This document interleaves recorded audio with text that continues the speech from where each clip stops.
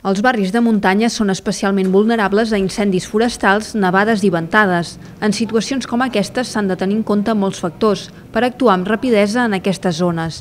Per això aquests barris compten amb plans d'autoprotecció que estableixen les actuacions que cal seguir en cas d'emergència. Unes característiques una miqueta diferents del que és un entorn urbà, són camins doncs, eh, més dificultosos amb el trànsit pels radis de gir doncs, dels vehicles, per la densitat en alguns llocs que hi ha de l'arbrat.